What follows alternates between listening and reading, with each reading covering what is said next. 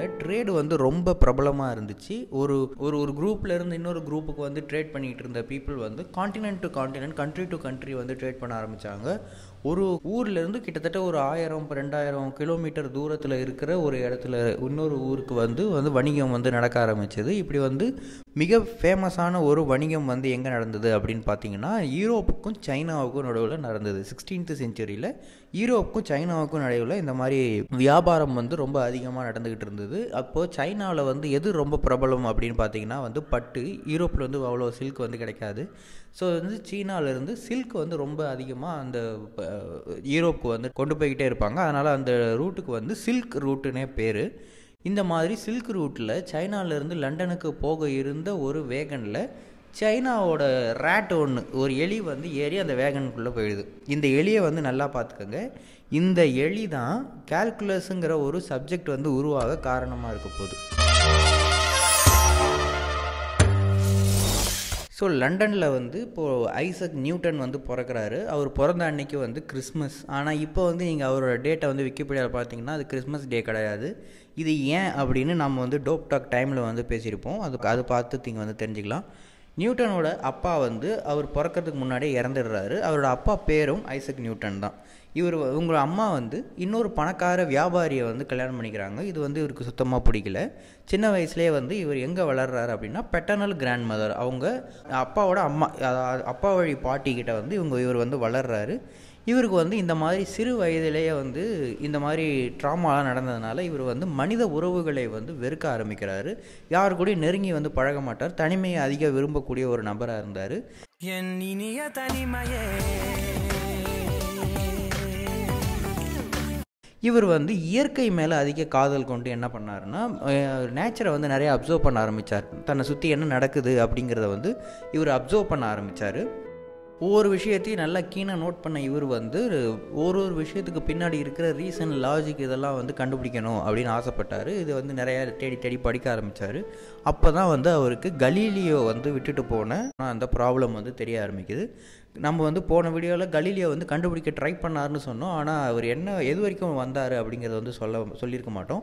அவர் எது வரைக்கும் வந்தார் அப்படின்னு பார்த்தோம்னா அவர் வந்து எவ்வளோ டிஸ்டன்ஸை வந்து ஒரு ஆப்ஜெக்ட் கவர் பண்ணுது அப்படிங்கிறத வந்து அவர் வந்து ஒரு ஃபார்முலா மூலமாக வந்து கன்க்ளூட் பண்ணிட்டு வந்து போயிருக்காரு. டிஸ்டன்ஸ் எவ்வளோ ஒரு இவ்வளோ டைம் கொடுத்தா அது எவ்வளோ டிஸ்டன்ஸ் போயிருக்கும் அப்படிங்கிறத வரைக்கும் அவர் வந்து கண்டுபிடிச்சிருந்தார். ஒரு செகண்டில் ஒரு ஆப்ஜெக்ட் வந்து ஃபைவ் மீட்டர் ட்ராவல் ஆச்சு. ஃப்ரீ ஃபாலில் ஒரு ஒரு செகண்டில் ஒரு ஆப்ஜெக்ட் வந்து தூக்கி போட்டிங்கன்னா அது வந்து மொதல் செகண்டில் வந்து அஞ்சு மீட்டர் ட்ராவல் ஆகிருக்கும் ரெண்டு செகண்ட் கழித்து அது வந்து டுவெண்ட்டி மீட்டர் ட்ராவல் ஆகிருக்கும் ரெண்டு டுவெண்ட்டி மீட்டர் ஹைட்லேருந்து தூக்கி போட்டிங்கன்னா அது கீழே வரதுக்கு ரெண்டு செகண்ட் ஆகும். த்ரீ செகண்டில் ஃபார்ட்டி ஃபைவ் மீட்டர் ஃபோர் செகண்டில் எயிட்டி மீட்டர்ஸ் இப்படின்னு இந்த மாதிரி இந்த கன்க்ளூஷன்லாம் வச்சு அவர் என்ன கண்டுபிடிக்கிறார் அப்படின்னா ஒரு கிவன் டைமில் டீங்கிற டைமில் வந்து ஒரு ஆப்ஜெக்ட் வந்து எவ்வளோ டிஸ்டன்ஸை கவர் பண்ணியிருக்கும்? ஃப்ரீ ஃபாலில் அப்படின்னா ஃபைவ் டி ஸ்கொயர் அதாவது ஒரு செகண்ட்னா five into one square five two செகண்ட்ஸ்னால் five into two square five into four twenty three செகண்ட்ஸ்னால் five into three square five into nine வந்து ஃபார்ட்டி ஃபைவ் இந்த மாதிரி இவர் வந்து ஃபைவ் டி ஸ்கொயர் அப்படிங்கிற formula வந்து கண்டுபிடிக்கிறாரு.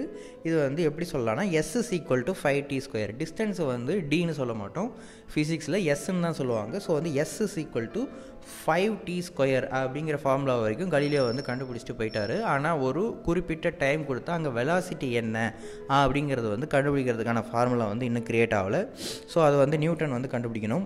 So இப்போ நம்ம ஃபஸ்ட்டு வீடியோவில் பார்ட் ஒன் வீடியோவில் ஃபங்க்ஷன்னா என்ன அப்படின்றத வந்து பார்த்துருப்போம். அந்த ஃபங்க்ஷன் வீ வீடியோவில் ஒரு இன்புட்டுக்கு ஒரு அவுட்புட் இருந்தால் அதை வந்து ஃபங்க்ஷன்னு சொன்னோம்.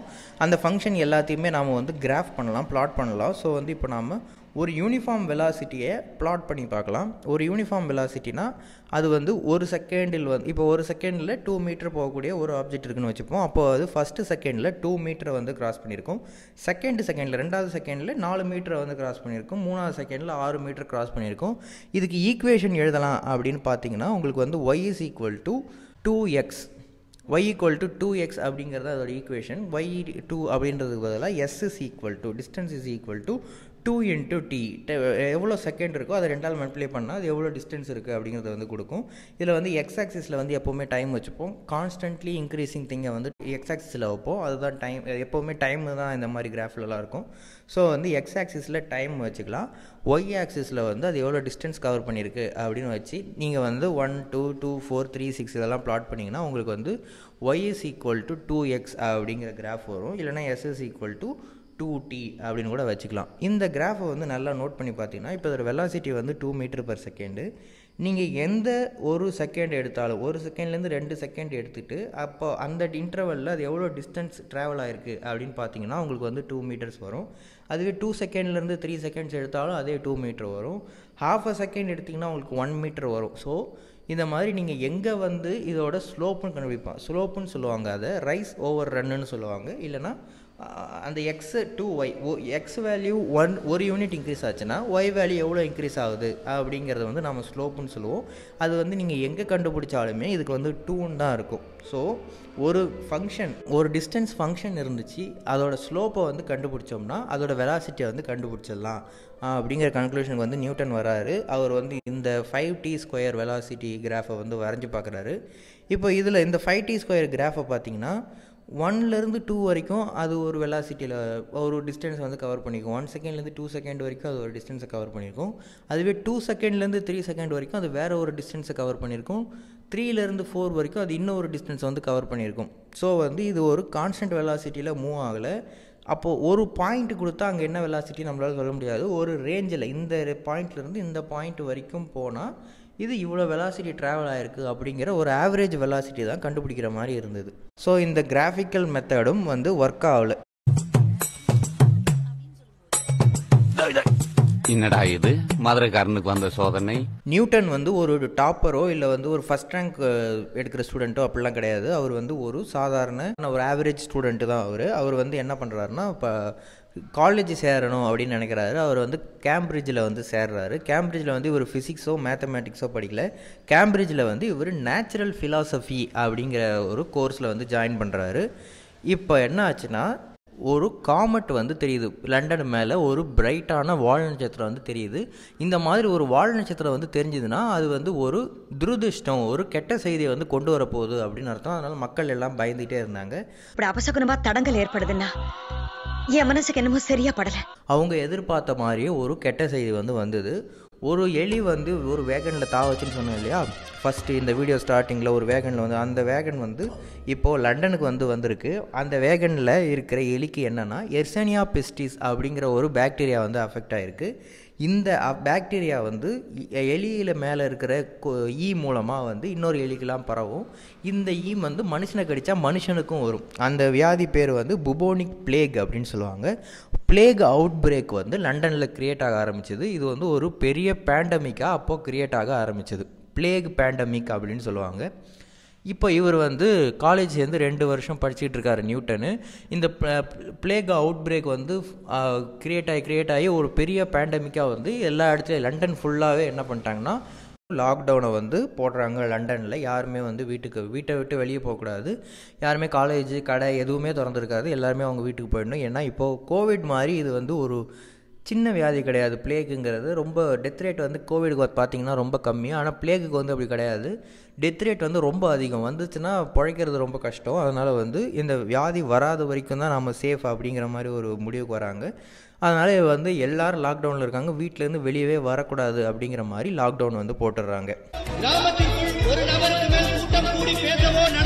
கூடாது.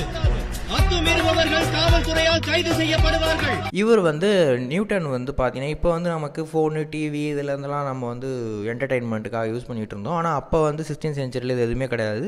இன்னொன்று என்னென்னா நியூட்டனுக்கு கேர்ள் ஃப்ரெண்டுமே கிடையாது. இப்போ மட்டும் இல்லை அவர் வந்து லைஃப் லாங் அவருக்கு வந்து கேர்ள் ஃப்ரெண்டே இருந்தது கிடையாது. அவர் வந்து சாகும்போது ஒரு விர்ஜினாக செத்தார் அப்படின்னு சொல்லுவாங்க. அவன் கேட்டானா? இந்த ட்ரெஸ் பத்தி அவன் கேட்டானா? இனிமே ட்ரெஸ் பத்தி நீ பேசக்கூடாது. இவர் வந்து இந்த மாதிரி எந்த ஒரு என்டர்டெயின்மெண்ட்டுமே இல்லாத நியூட்டன் வந்து என்ன பண்ணுறாருன்னா மறுபடியும் நாம் வந்து அந்த ப்ராப்ளம் எடுத்து சால்வ் பண்ண ட்ரை பண்ணலாம் அப்படின்னு சொல்லி மறுபடியும் அந்த ப்ராப்ளம் வந்து எடுக்கிறாரு. தூசிலாம் தட்டி எடுக்கிறாரு.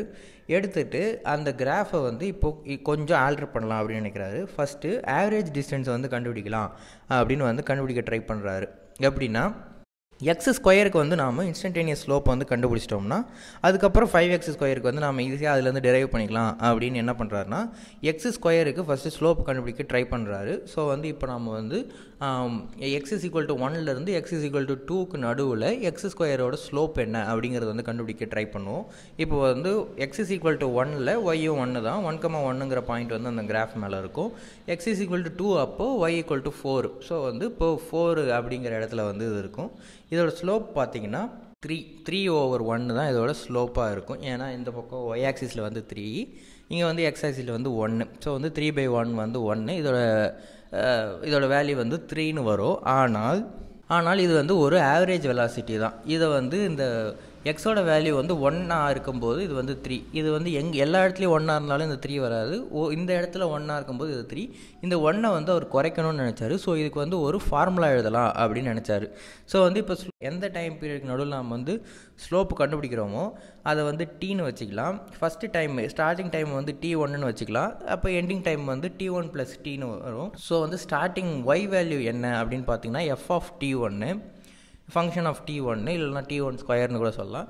ஃபங்க்ஷன் ஆஃப் டி ஒன்று ஃபஸ்ட்டு வச்சுக்கலாம். ஸோ இது வந்து இது வந்து ஃபங்க்ஷன் ஆஃப் டி ஒன்று ரெண்டாவது ஒய்யோட வேல்யூ என்ன அப்படின்னு வரும்னு பார்த்தீங்கன்னா function of T one plus T ஓகேவா இப்போ வந்து இந்த ஒய் ஆக்சிஸோட இந்த ஹைட் வந்து வேணும் இல்லையா நமக்கு? அப்போது F of T plus T one அந்த ஹோல் லென்த்லேருந்து எஃப் ஆஃப் டி ஒன்னை வந்து மைனஸ் பண்ணிட்டோம்னா நமக்கு வந்து இந்த ஹைட்டு வந்து கிடச்சிரும்.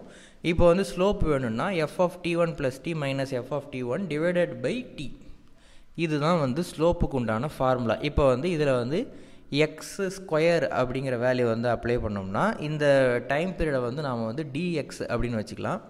ஸோ வந்து X plus DX whole square minus X square divided by DX இதை வந்து எக்ஸ்பேண்ட் பண்ணும். இப்போ X plus DX whole square வந்து எக்ஸ்பேண்ட் பண்ணிங்கன்னா X square plus DX square plus two X DX minus X square divided by டிஎக்ஸ்னு வரும்.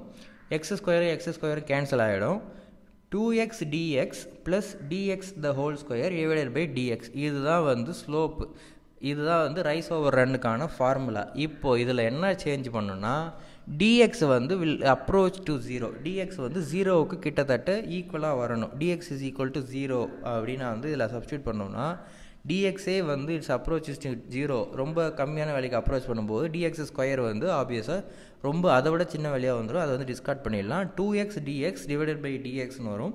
டிஎக்ஸும் டிஎக்ஸும் cancel பண்ணிட்டோம்னா நமக்கு வந்து டூ எக்ஸ்னு வரும். ஸோ எக்ஸ் ஸ்கொயரோட இன்ஸ்டன்டேனியஸ் ஸ்லோப் வேணும்னா அதுக்கு உண்டான ஃபார்முலா வந்து டூ எக்ஸ் இதை தான் வந்து பின்னாட்களில் டிஃப்ரென்ஷியேஷன் பண்ணால் எக்ஸ் ஸ்கொயர் டிஃப்ரென்ஷியேட் பண்ணால் டூ எக்ஸ் அப்படின்னு வந்து கொண்டு வந்தாங்க.